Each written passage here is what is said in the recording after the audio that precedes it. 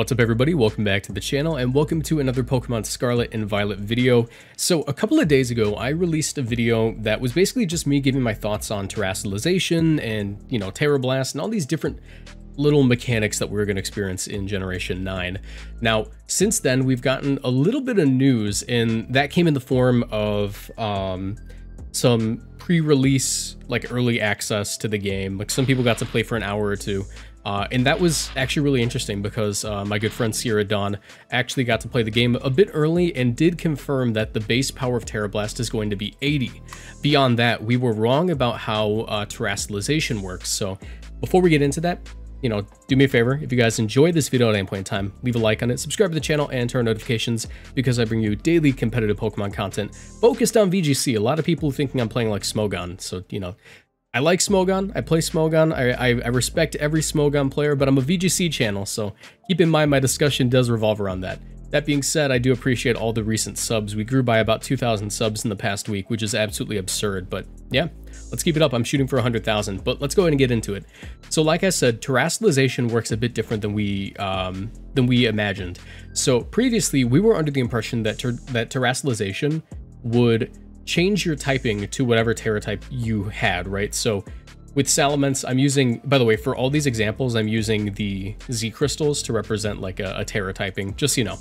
So we were under the impression that terastallization would change your type to that typing and then give you a um, a boost exclusively to the stab that you have chosen. Alternatively, if you decided to Tera type into whatever typing you already had, whether, you know, if you're like a dual type, you know, dragon flying, uh, if you Tera, uh, what Tera, I almost said Tera Evolve. If you Terastallize into a pure flying type when you already have flying, you get a multiplier of two times on that move rather than 1.5.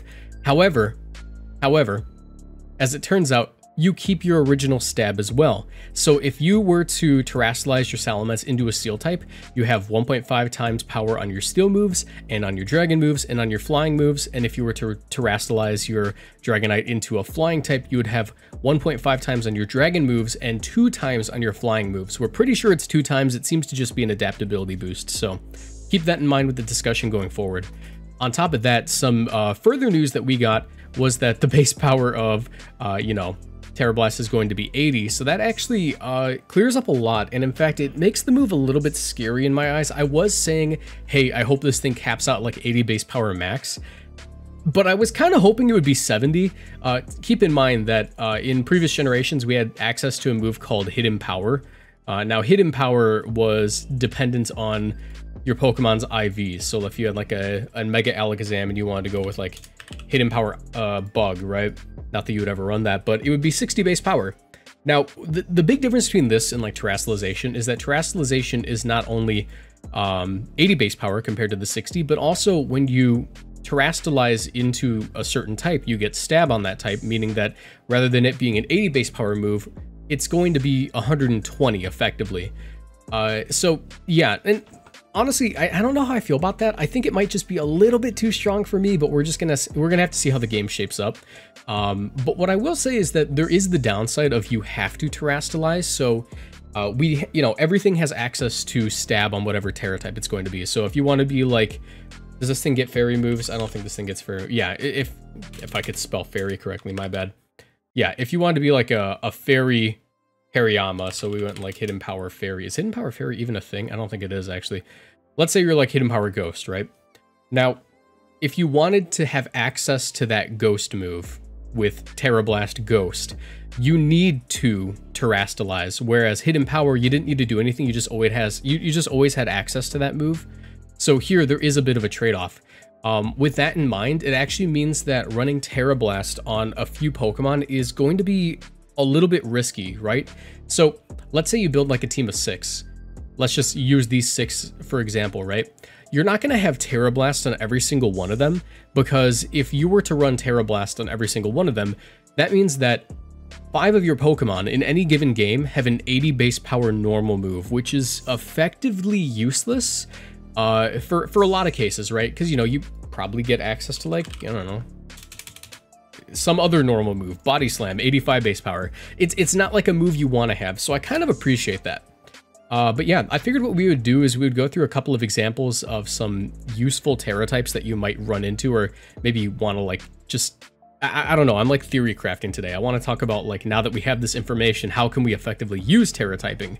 Um, and it does open the door to like defensive Tera typing being a lot better than we had uh, initially imagined. Because before, when you would like Tera type into something, it was a commitment. It was like, okay, you know, I'm gonna change my type into something, uh, and now I lose all offensive boosts on my original stab moves. But now that we know that's not the case, it's like just straight up benefits from defensive Tera typing.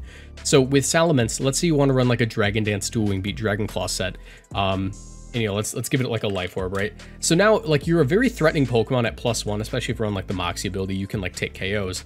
But you can actually hold on to that uh, Tera typing until you need it. Um, so basically, like, let's say you have like two Pokemon on the field, like Coalossal and Salamence, and you're not sure which one you want to terastallize first, uh, or you're not sure which one you want to terastallize in this game, but then your opponent sends out uh, a Tapu Lele, and all of a sudden you realize, okay, yeah, that's a Scarf Tapu Lele, it's going to outspeed my Salamence and KO. Bam, defensive Tera typing, the Salamence is now Steel type and it resists those Fairy and Psychic moves. So this actually means that the Salamence can still do its job. It's still getting Stab on Dual Wingbeat and Dragon Claw, but as a Steel type, it can now take on the Tapu Lele. That's kind of interesting, right? Because I don't know, it, it, makes it so that way when you like go into every single match, if you were to build like a team of six, right? So let's just I don't know, let's just grab a random team and make a copy of it. Let's go with this one. So let's say that I'm running this team in Generation 9. Now, when I'm going into a match, I not only need to determine like what move set I want to run, but let's say I want to run this Xurkitree. Oh, I don't want to get annihilated by uh, ground Pokemon, so maybe it's optimal for my Xurkitree to be like obviously you wouldn't run like Tera Blast on this set, but like you would want to be like um a flying type as your Tera type because that means you can defensively become immune to moves and it's not really a trade-off. You still keep like all of your original boost your moves, but now you're just immune to those flying moves. Maybe uh Clefairy, since it's weak to poison mons, wants to become a uh a steel type, right? Like it, the list goes on and on. Like Dragapult is obviously weak to like dragon, ghost, dark moves. Uh, so while you could, you know, use it offensively on the defensive side, why not turn your Dragapult into a fairy type? You know, like there's a lot of options here and that's what like is kind of freaking me out because there's just another layer of things that you need to do in the team builder. Um, and I'm not sure how that's going to affect like accessibility when it comes to building teams for Generation 9, but it's something that we have to keep in mind, you know? Uh, that being said, you know, I, I feel like I keep going on these different tangents. I, for the most part, I've been organized. You know, I was talking about like, you know, how Tera works now and, uh, you know, the defensive use cases, but now I feel like we can talk about Tera options that I didn't consider the first time. So with Coalossal, I said, hey, you know, you always want to be a rock type because then you get a boost on your um, rock slide and you lose the weakness to the, or the four times weakness to water moves. But now that we know you keep the stab on the original move set, that actually opens the door to having just like a ton of different options for your final move. So let's say you want to be like Tera, um, well, obviously this is like a steam engine situation. So we have the option of anything that's weak to water moves. So we can turn into a ground type. And obviously rather than uh, Tera Blast ground, you're going to want to run earth power because it's just a better move. So Coalossal can now be a ground type, which is a little bit scary because, hey, you know, now you're hitting rock types for super effective moves, or for super effective. Um, and yeah, it just means that you have stab on all three of these attacks and you're like a weakness Palsimon. The real scary thing is now Regieleki. Now that we know like the base power of this sort of thing, Regieleki is probably going to want to run like Tera Ice and probably a lot of like non flying or levitating electric types are going to want to be Tera Ice. Uh, and the reason that's like especially scary for Regieleki is because Regieleki is somewhat busted in VGC. Uh, not like super, super busted, but it's like just above the busted threshold, you know, uh, with its like offensive sets. So the one way that you could get around that was Regieleki struggles to hit ground type Pokemon, uh, like Landorus. Landorus is a hard Regieleki counter unless you were a madman and ran Trick Ring Target to get rid of that uh, immunity to electric moves. But now, uh, what I've done is I've taken HP Ice and changed its base power to 80. And we can actually see that if they're running like, you know, just max speed, max attack, 4 HP Landorus Therian, you're getting one shot by HP Ice off of uh, Regieleki. And if they decide to run like a Life Orb, then that move just gets boosted in power again. Obviously, you know, as like a ground and flying type, you're probably not going to be you know, switching in on ice moves anyways, but just like general ground types now, Regieleki has the option to hit them. Uh, let's go with uh, Hippowdon. Hippowdon doesn't have like the best special defense stat, so this is actually pretty fair. So, you know, Life Orb Regieleki versus like max special defense Hippowdon can now actually deal a decent amount of damage. You're, you know, if they're not running like max special defense, let's say they're running like uh, physically defensive set, bold, right? Well, not bold, obviously you want that attack stat, but for the sake of just calcing quickly, you're dealing 60 to 71 with Life Orb, and without Life Orb, you're still dealing probably around like 50%. Yeah, that's like a two-shot, so if you switch in on the HP Ice, expecting to take like a ground move, or not the HP Ice, the Tera Blast Ice, please forgive me, I'm gonna mess that up a lot in this video, but if you switch in on the Tera Blast Ice, and they call that uh, play correctly, now you're gonna get like two-shot, and that's like the scary thing. Um, as much as I like the defensive aspect of this, the offensive aspect is a little bit scary, uh, especially when it comes to just being prepared for matches. Um, I will say what I said before, that as the meta develops, we will know what Pokemon wants to Tera type into what, and while it is another layer of the game to memorize uh, and learn about, uh, it, it is a little weird. What this does open the door for uh, is, you know, you can play optimally or you can play fun uh, and I know a lot of my viewers like to play fun. So I'm a big fan of like Absol, right? Absol, however, is unfortunately very outclassed by a little Pokemon named Urshifu because Absol tends to be a physical attacking dark type with 130 base attack that likes to crit. Urshifu is a physically attacking dark fighting type with 130 base attack, a higher speed, more stab moves, and guaranteed crits. So it gets just straight up outclassed. But let's say that I want to run Absol regardless. Now I don't have to give up that um, that offensive dark coverage because dark is like a really, really good offensive typing. You have access to stab knockoff, sucker punch, etc. Now, if I wanted to, I could run Play Rough in Fairium Z and become a fairy type and then be able to, probably just barely because of Absol's like absurdly low bulk, uh, eat a hit from the Urshifu and defeat it. So like Absol is one of these Pokemon that could turn into a different type and take advantage of it uh, in singles, I don't even know if Smogon's going to like allow terastallization, to be honest. This feels like the sort of thing they might ban, but I don't really think so. It, it's, it's iffy, right? Um, and in a previous video, I had mentioned that Guts uh, Hariyama is actually especially scary because it can Tera type into a normal Pokemon and get access to stab on its uh, Guts boosted Fake Out and its Guts boosted Facade. And I said that was at the expense of having like a boost on your close combats. But now that I know that that's not the case, your close combats, your knockoffs, they're gonna hit like a like a truck. It's gonna be absurd. And and you could actually turn like this is the thing, right? There are a lot of Pokemon that want to turn into dark types with terastallization. Let me actually clear the board entirely.